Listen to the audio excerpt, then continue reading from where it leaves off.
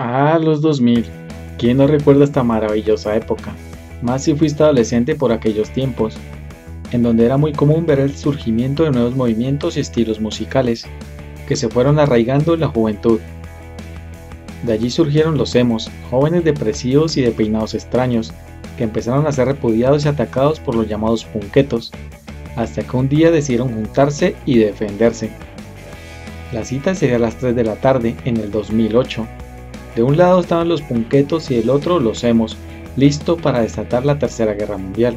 Insultos iban y venían, y la policía tuvo que llevar más de 100 elementos para separar a los jóvenes pubertos. Y justo cuando parecía inminente la confrontación, de las profundidades del metro de la Ciudad de México apareció un grupo de Hare Krishna cantando y danzando. Y serían estos quienes calmarían los ánimos entre los adolescentes haciendo que se disiparan, terminando con este enfrentamiento épico que será recordado en los anales de la historia. Y así todos regresarían a sus casas, donde seguro más de uno se llevó una regañiza de parte de sus papás. Y bueno amigos, esto fue todo por el día de hoy.